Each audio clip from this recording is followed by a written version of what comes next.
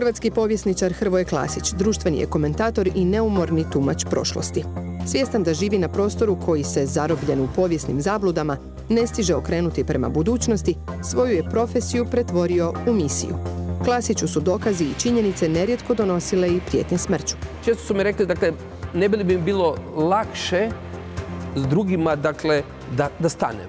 Sam rekao, vjerojatno bi mi bilo lakše s drugima, ali ne bi mogao živjeti sam sa sobom. Bilo da je riječ o kompleksnim odnosima zemalja na Balkanu ili ratu u Ukrajini i višestoljetnim odnosima s Rusijom, Klasić od svoje misije ne odustaje, nego se posljednjih godina profilira u autora najgledanijih dokumentarnih serija o najkontroverznijim povijesnim razdobljima.